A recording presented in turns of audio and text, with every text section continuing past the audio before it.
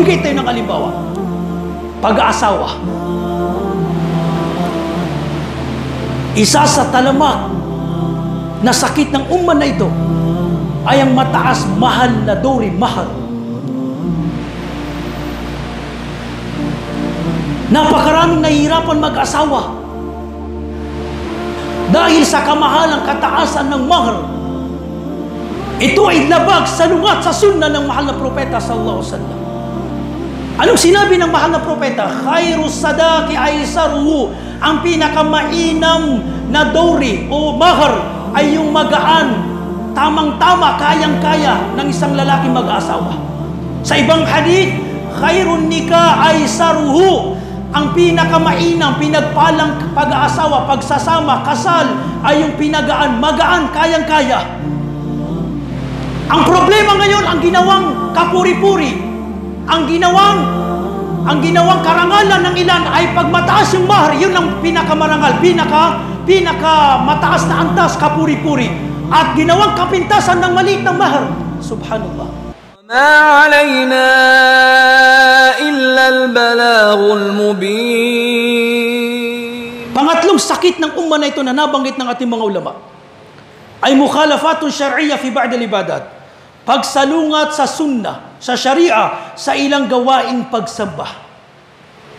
May mga kaugaliang ginagawa tayong pagsamba na hinaluan natin ng mga bid'a o di kaya pagsalungat sa sunnah ng ating mahal na propeta sallallahu alaihi wasallam. Magbigay tayo ng halimbawa. Pag-aasawa. Isa sa talamak na sakit ng umman na ito ay ang mataas mahal na dori mahal. Napakaraming nahihirapan mag-asawa dahil sa kamahalang kataasan ng mahal. Ito ay labag sa lungat sa sunna ng mahal na propeta sallallahu alaihi wasallam. Anong sinabi ng mahal na propeta? Khairu sadaki aisaruhu. Ang pinakamainam na dowry o mahar ay yung magaan, tamang-tama, kayang-kaya ng isang lalaki mag-asawa. Sa ibang hadith, khairun nika aisaruhu. Ang pinakamainam, pinagpalang pag-aasawa, pagsasama, kasal ay yung pinagaan, magaan, kayang-kaya. Ang problema ngayon, ang ginawang kapuri-puri, ang ginawang ang ginawang karangalan ng ilan ay pag mataas yung mahar, yun ang pinakamarangal, pinaka pinaka mataas na antas, kapuri-puri. At ginawang kapintasan ng maliit ng mahar. Subhanallah. Ito ang problema natin. Minsan may ibang pamilya, pag nasabing maliit yung mahal niya, kapintasan sa kanya. Subhanallah. Mas ginusto mo yung sasabihin ng tao kaysa sa sunna ng mahal na propeta sallallahu alaihi wasallam. Mas binibigyan mo ng halaga yung sasabihin ng mga tao, kaluguran ng mga tao kaysa sa kaluguran ni Allah subhanahu wa ta'ala.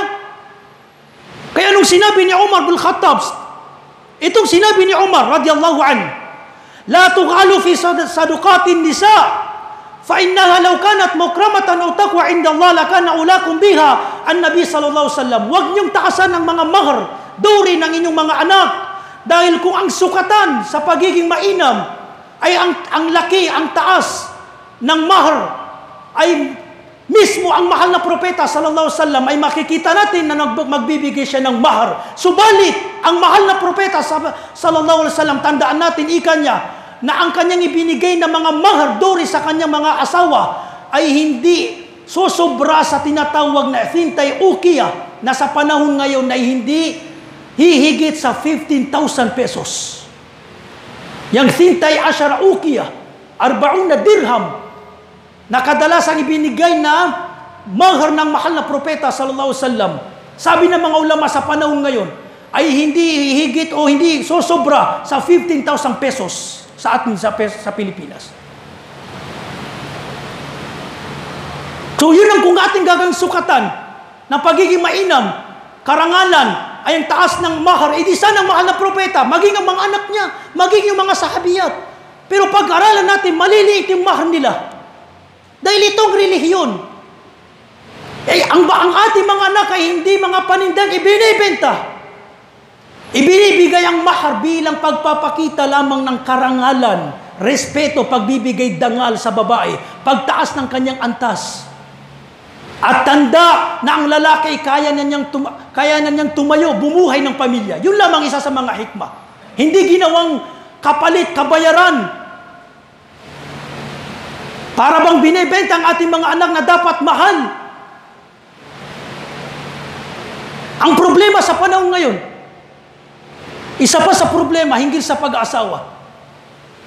Kapag nakapagtapos, nakadiploma o di kaya naka, nakapasa, naka-register sa ano pa mang mga ina, ini-examan ng mga nakakapagtapos, mas mahal. Subhanallah. Ito ay kabilang sa lumalabag sa sunna. Para mong tinuturing na kabayaran, kukunin mo din yung lahat ng nagastos mo sa iyong anak. Hindi ganon. Ginagas, na gumagastos ka sa iyong anak para dahil responsibilidad mo yun. At tandaan natin, ang mahar duri ay karapatan niya ng ating mga anak, ng mga babae.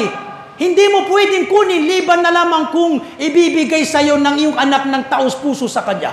Pero yung kakamkami mo lahat, kabilang to sa vul, kawalan ng katarungan, pandaraya ng ilan na kinukuha lahat ng mahar ng kanyang anak.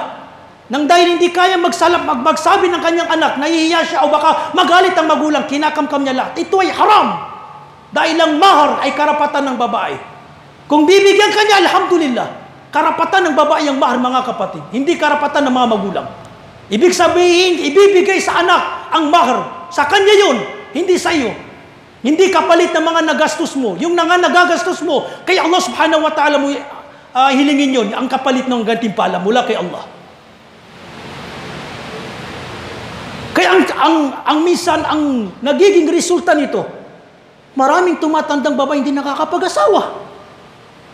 Dinidelay natin. Kung may umakyat na manikan na lalaki, walang natapos, o di kaya walang kaya man hindi tinatanggap, kabilang din to sa mga sakit sa, ng umman na ito. Subhanallah. Tini, ang tinitignan sa lalaki, ang unang itatanong, may natapos ba yan? May trabaho ba yan? Ganyan ba ang ipinagutos sa atin ng mahal na propeta sallallahu alaihi wasallam? Anong sinabi ng mahal na propeta? Mantar, man ja'akum man tardawna dinahu wa khuluquhu fazawwiju. Kapag dumating sa inyo ang isang lalaki na manikan, nakita nyo sa kanyang-kanyang relihiyon, nagsasala, halimbawa, ang kanyang pagugali, fazawwiju, tanggapin nyo. Ilang takon, tak, ilang, sa ibang sa kaulugan na hadith, kapag hindi nyo tinanggap, ay mangingibabaw ang fitna kapinsalaan sa inyo. At ito ay nasasaksiyan natin. Hindi tinatanggap dahil lamang sa mahirap, halimbawa ang lalaki, ito ay haram. Minsan nagiging hadlang lang ang mahar, dowry. Tapos ang anak na babae, tinanggap na niya. Bukal na sa puso niya mag-asawa, tinanggap na niya yung lalaki. Pero dahil ang lalaki ay mahirap, kulang yung mahar, nagbigay ka ng malaking kondisyon, at maring hindi, ma, hindi matuloy ang kasal dahil lamang sa iyo nagiging haram. Nakagagawa ka ng malaking kasalanan. Ikaw nagiging hadlang para hindi matuloy ang kasal dahil lamang sa makamundong bagay. Subhanallah. Kabilang ito sa mga talamak sa panahon ngayon. Itong mahar, napakataas na mahar. Ang sunna, pin, pinagpalang pagsasama kasal ay yung pinakamagaan, kayang-kaya, abot kaya ng isang lalaki mag-aasawa. Kabilang din, halimbawa, na ginagawa ng ilam na salungat sa ating relihiyon, na hindi pa nakakasal, ginagawa na ng prenup shot.